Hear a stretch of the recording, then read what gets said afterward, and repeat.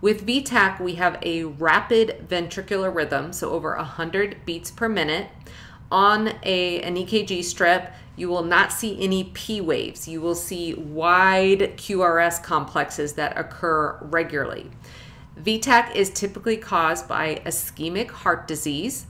Treatment of VTach with a pulse includes cardioversion as well as antiarrhythmics and correction of any electrolyte imbalances.